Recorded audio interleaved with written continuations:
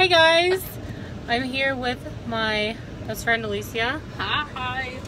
And we were looking around Walmart and uh, we stumbled upon some Peeps and they had so many different flavors. There's, oh no, there's there's the Oreo. Um, I was looking for the Oreo flavored Peeps. I was gonna tell you about that, but I forgot. Oh. Anyways, there's Peeps. I got the birthday cake, but those are in the back. So we're gonna try these. We're gonna try these right now. And she doesn't like Peeps at all, but she likes watermelon and she likes sour stuff. So we're Alright, gonna hope. Here, hold on. Start off with biting Hold off on, the head. hold on, hold on. Let me get it out. We're gonna hope that these are good, because if not, she said she's giving it to me. But okay, so this is what they look like. They're just green. Oh, and then the marshmallow parts pink. So this is the so the marshmallow is like watermelon too.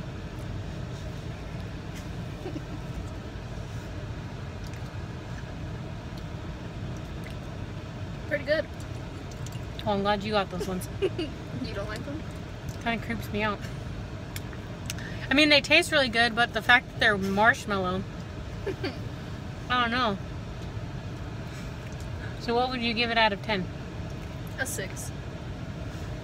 What would you give regular Peeps out of 10? A zero. Oh, good. Well, okay. I hope you guys like this little short video. Let me know if there are any other. Peeps that we should try. Um, we can do like a, a Peep Test Monday. Peep Test Mondays. or something like that. So, anyways, okay, thanks guys for watching. Don't forget to like this video, subscribe. Bye!